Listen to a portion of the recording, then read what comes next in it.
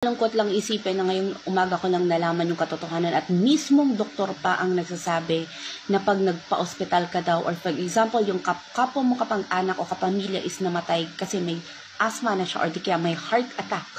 Pag namatay na yung pamilya mo sa ospital na yon, sinasabi ng doktor na ma'am, kakausapin ka ng doktor at sasabihin ng doktor na ma'am, okay lang ba sa'yo na ilalagay na lang natin either not heart attack kundi COVID cases.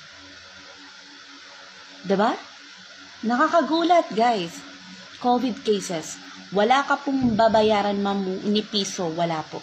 Pero ang ilalagay nila doon sa resibo mo is worth 340,000 or either 220,000. Pero hindi mo yun babayaran. Pipirmahan mo lang yun na, pumayag ka. Na ganon. ba? Kasi alam nyo kung bakit guys, doktor ang nakikinabang nun. Sila ang nagkakapera nun. Ang kupal nyo.